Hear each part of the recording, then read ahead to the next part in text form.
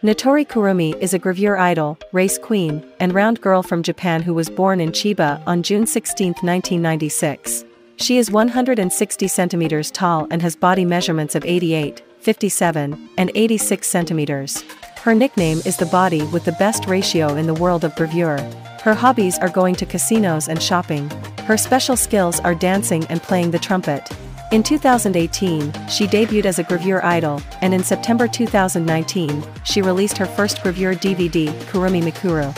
In January 2021, she won the Grand Prix at Miss Flash 2021. In the same year, she also debuted as a race queen and won the Grand Prix at the Japan Race Queen Award 2022. Additionally, she also worked as a round girl for the martial arts shows, Krush in 2022 and K1 in 2023.